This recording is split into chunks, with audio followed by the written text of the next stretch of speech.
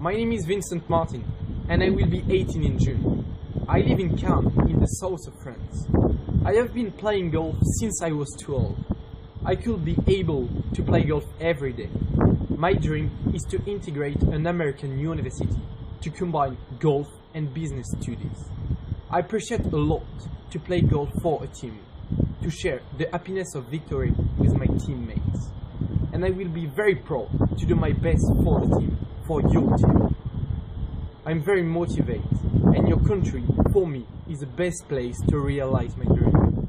You will see couple of videos. I hope you enjoy. See you!